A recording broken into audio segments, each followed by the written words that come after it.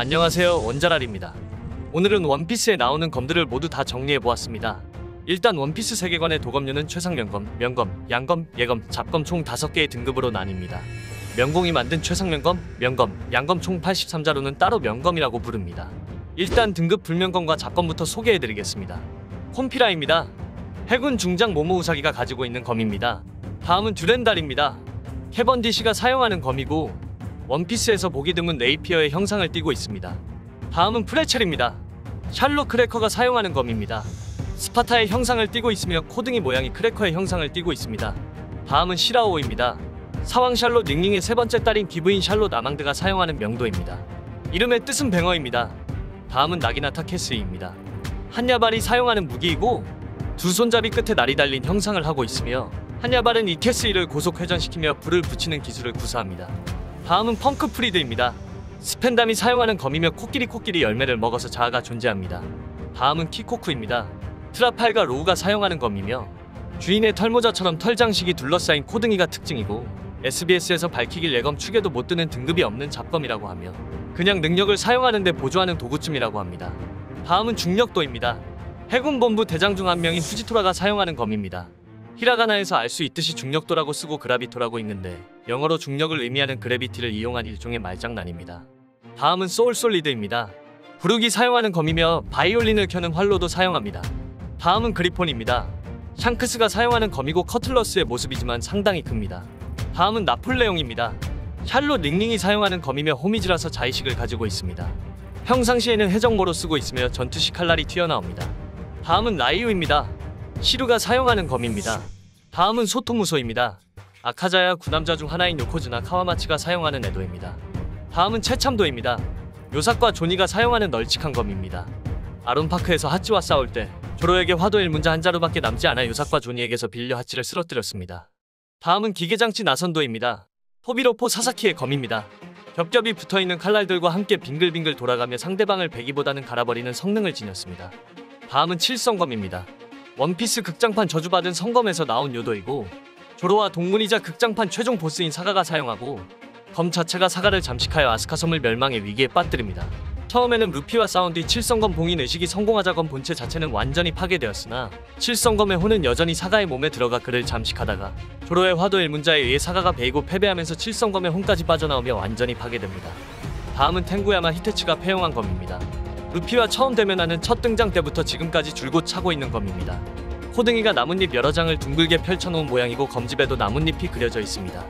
이래 귀철을 가져가려는 루피를 대경질색해서 말리니까 대신 그 칼을 가져가겠다고 했는데 히테치는 이것도 명검이라며 난감했습니다. 이번에는 4등급인 예검인 검을 소개해드리겠습니다. 3대 귀철입니다. 와노쿠니의 대장장이 탱고야마 히테치가 만든 검이며 롤로노와 조로가 왼손에 쥐고 있는 검입니다. 로그타운의 어느 무기점에서 요도라는 것을 듣고 자신의 팔을 거는 도박을 통과하면서 획득했습니다. 다음은 시구레입니다. 타시기가 실제로 사용하고 있는 검입니다. 이름의 뜻은 가을비입니다. 이번에는 3등급인 양검을 소개해드리겠습니다. 유바시리입니다. 50자루 양검 중 하나이며 롤로노와 조로가 오른손에 쥐고 사용하던 검입니다. 하지만 녹록 열매의 능력자 슈테령과의 전투에서 날이 완전히 부식되었습니다. 다음은 카슈입니다. 바로 그 워크스의 요원 미스터 11이 들고 있던 검입니다. 루피 일행을 쫓아 위대한 항로로 들어온 타시기가 입수했습니다. 이름은 꽃의 마을이라는 뜻입니다. 이번에는 2등급인 명검을 소개해드리겠습니다. 하도 일문자입니다. 세계에 단 21자루만 존재한다는 명검 중 하나이며 조로와 쿠이나의 약속의 증표가 되는 검입니다. 이 검은 와노쿠니의 도공 시모치키 코자브로가 만든 검입니다. 다음은 2대 귀철입니다. 명검 21자루 중 하나이고 3대 귀철과 마찬가지로 귀철 1파가 만든 명검입니다. 와노쿠니의 대장장이 텐구야마 히테치의 조상 코테치가 만들었다고 합니다. 루피가 멋대로 가져다 쓴 검이기도 합니다. 다음은 흑도 슈스이입니다. 명검 21자루 중 하나이며 먼 조상 와노쿠니의 도신 유마가 사용했던 검입니다.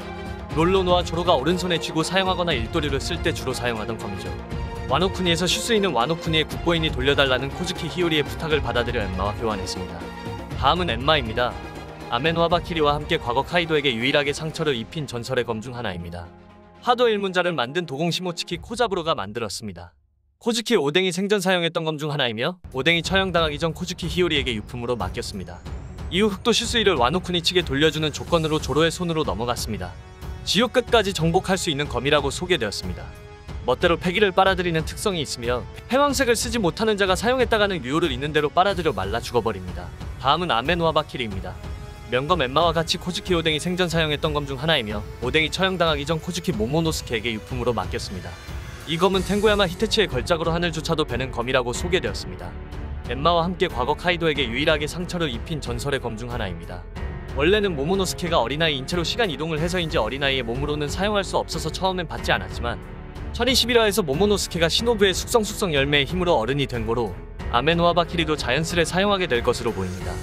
그리고 1051화에서 성인이 되어 와노쿠니의 새로운 쇼군으로 추대받은 모모노스케가 허리춤에 차게 되었습니다. 이름의 유래는 일본 신화에 나오는 같은 이름의 검입니다. 신화에서는 스사노우가 야마타노 오로치를 죽인 후 꼬리에 들어있던 아마노 무라 쿠모노 추루기의 토츠카노 추루기의 끝 부분이 부러진 뒤 이 검을 사용해 야마타노 오로치를 해체했다고 하며 문헌에 따라서는 토츠카노 추루기와 같은 검이라고 합니다. 오우토와 코가라시입니다. 금사자 시키가 애용하는 두 자루 명검입니다. 금사자 시키의 다리에 박혀 의족의 역할을 하고 있었습니다. 손잡이와 코등이 모양은 일본도의 형상을 하고 있지만 특이하게 칼날은 양날의 모양을 하고 있습니다. 검의 이름은 늦가을에서 초겨울 사이에 부는 찬바람을 가리킵니다. 보통 겨울바람 등으로 번역됩니다. 이번에는 마지막 1등급인 최상명검을 소개해드리겠습니다. 최상명검은 딱 12자루만 존재하며 정말 희귀한 검입니다. 흑도 요루입니다. 세계 최강의 검사 미호크의 검이며 세계 최강 검사의 검답게 엄청난 위력을 자랑합니다. 여담으로 몇몇 유럽 국가에서 요루의 모습이 십자가처럼 보여 종교적 상징을 나타낸다고 짧게 바꾸기도 했습니다. 다음은 초대 귀철입니다. 12자루 최상 명검 중 하나이며 귀철 1파가 만든 검입니다. 현재 이 검은 오로성의 간디가 사용하고 있다고 추측하고 있습니다. 다음은 무라쿠모기리입니다. 세계 최강의 사나이 흰수염 에드워드 뉴게이트가 생전 사용한 언월도이며 93권 SBS에서 뒤늦게 최상 명검이라는 사실이 밝혀졌습니다. 검의 이름은 떼구름을 베는 것이라는 뜻입니다. 그래서 이제 한번 휘두르면 구름조차 벨 수 있다고 하며 실제로 샹크스와 흰수염과의 조우에서 둘이 검을 부딪힐 때 구름이 베어졌습니다. 다음은 에이스입니다. 해적왕 골 D. 로저가 생전 사용한 검입니다. 전체적인 형태는 cutlass와 비슷하지만 손잡이와 칼날은 일본도와 비슷합니다. 이 검은 로저가 처형당한 후 행방을 알 수 없습니다. 공교롭게도 사용자의 아들과 이름이 같은데 우연일 수도 있지만 이름을 따서 지었을 가능성도 있습니다. 여기까지 등급별로 검을 알아보았습니다. 추가로 흑도와 요검에 대해서 설명해 드리겠습니다. 일단 흑도는 도신이 흑색인 검입니다. 슈라큘 미호크의 요르와 유마의 슈스이가 흑도입니다. 흑도인 검은 이름 앞에 흑도를 붙입니다. 예를 들어 이미 널리 알려진 요루 슈스이가 이에 가장 들어맞는 검의 사례 중 하나입니다. 작중 표현으로는 공룡이 밟아도 단 1mm도 휘지 않는다는 경도가 특징입니다. 무장색 패기로 경화한 도검은 마치 흑도가 된 것처럼 색이 검게 변한다는 점에서 미호크는 조로에게 패기를 가르칠 때 모든 도검은 흑도가 될 수 있다며 칼날의 이 빠짐조차 자신의 수치로 여겨라라고 말했습니다. 규키마루의 말에 의하면 슈스이는 뉴마 생전의 치열한 싸움 즉 역전 끝에 흑도가 되었다고 했습니다. 그리고 조로가 받은 엠마를 두고 아직 흑도가 아니지만 조로가 하기 나름이라는 언급이 나온 걸 보면 흑도 자체가 대장장이가 만드는 게 아니라 검사의 영향으로 변화한 검들을 아우르는 말일 수도 있는 셈입니다.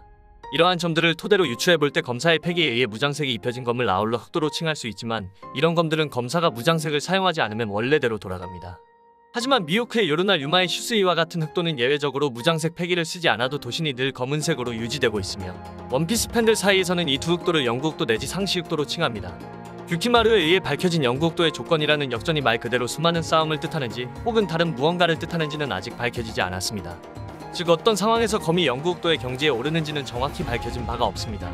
또한 이에 대해서 많은 논의가 이루어지고 있으며 한검의 무장색을 오랜 세월 주입하여 싸우면서 역전을 거듭한 끝에 영국도가 된다는 사실이 사실상 작중 언급됨으로써 사실상 유력으로 점철되고 있지만 이러한 사실을 통해 흑도의 조건과 여부를 쉽사리 결론을 내리기에는 여러 정황상 집어내기가 쉽지 않고 그렇지 않은 사례들도 존재합니다. 오뎅의 애도인 엠마와 아메노아 바키리가 영국도가 되지 못한 점과 로저의 커틀러스 에이스와 검은 아니지만 최상명검으로 포함되는 흰 수염의 무라쿠모 길이, 샹크스의 그리폰 등등 세계관 최상위권 강자들의 검과 창도 이러한 흑도의 경지에는 올라서지 못했습니다.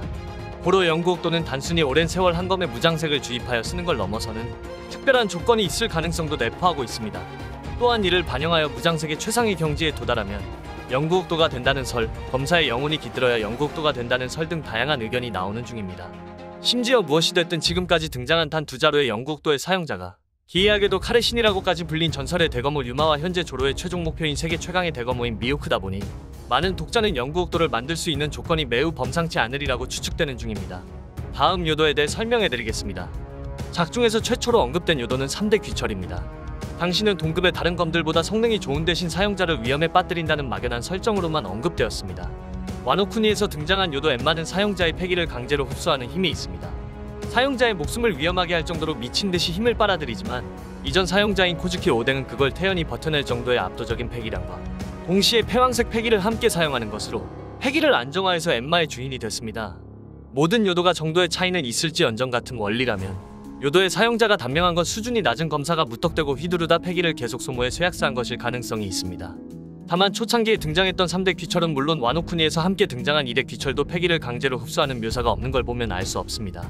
텐고야마 히테치의 3대 귀철의 원리는 요도와 같으니 엠마도 손에 익을 것이라는 언급에 근거한 모든 요도가 같은 원리지만 엠마가 유독 위험한 것일 뿐일 수도 있다는 설과 귀철 1파에 속하는 요도의 위험성은 다른 요도와 다르다는 설 등이 분분합니다.